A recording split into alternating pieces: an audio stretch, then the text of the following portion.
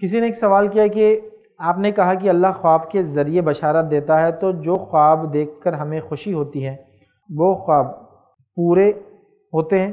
किसी ने सवाल किया कि जैसा मैंने कहा कि ख्वाब में अल्लाह बशारत देता है, उन्होंने कहा वो ख्वाब जिसको देख के हम खुश होते हैं तो क्या वो ख्वाब पूरे होते हैं और क्या बशारत है? तो याद रखिए, ऐसी बात नहीं है। ख्वाब तीन किस्म के होते हैं। एक अल्लाह की तरफ़ से होता है जिसको देख कर आप खुश होते हैं, लेकिन उसका सच होना ज़रूरी नहीं, जिसको आप देख कर खुश होते हैं।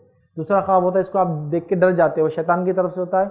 हदीस में आता है, उसके बारे में किसी को बताना नहीं चाहिए। और तीसरा ख्वाब जो आपकी नफ्सियात से आता है, ठीक है? कुछ भी होता है, ख्वाब में उड़ रहे हाँ भागना नहीं आ रहा आपको, नफ्सियात होता है ना? बहुत सारे लोगों की नफ्सियात होती है, ख्वाब में शेर पीछे लगे लेकिन भाग नहीं सकते। गाड़ी है, लेकिन एक्सीटर जो चलती नहीं है, ठीक है? तो नफ्सियात होती है बहुत सारी चीज़ें ख्वाब के अंदर। तो बहरहाल, नफ्सियात से आता है। जिसको आप देखकर खुश हो, वो अल्लाह की तरफ़ से, चूँकि आपको देखकर खुशी हुई लेकिन उसका सच होना ज़रूरी नहीं है, वो सच्चा ख्वाब नहीं, बशारत नहीं। लेकिन आपको खुशी होती ना, देखिए एक अच्छी बात। जो बुरा ख्वाब होता है, उसको आप डर जाते हैं, वो शैतान की तरफ़ से, लेकिन किसी को बयान मत कीजिए।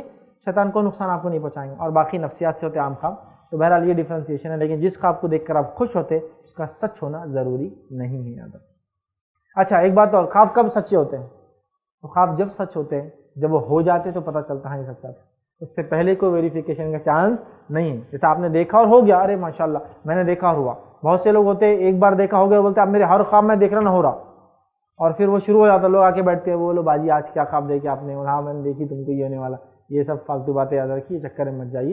लेकिन ख्वाब कब सच होते हैं? जब आप देख लेते हैं, वो हो जाता है तो पता चलता माशाल्लाह, मैंने ख्वाब में देखा था और अल्लाह ने मुझे पहले बताया था और वो चीज़ हो गई